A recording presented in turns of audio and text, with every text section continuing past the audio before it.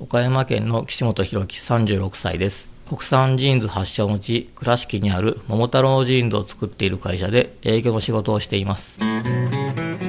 サンフランシスコで桃太郎ジーンズを履いてる人にばったり出くわしたんですけども、本当に声をかけようかどうしようか悩んだぐらいすごい嬉しかったですね。日本の商品は絶対世界に通用していくと思います。やっぱりその大量生産じゃないものをちゃんと一つ一つ丁寧に作っていってるので、職人一人一人の気持ちが商品に込められてるんで、その差が最終的な商品になった時の顔や雰囲気として現れてきてるんだと思います。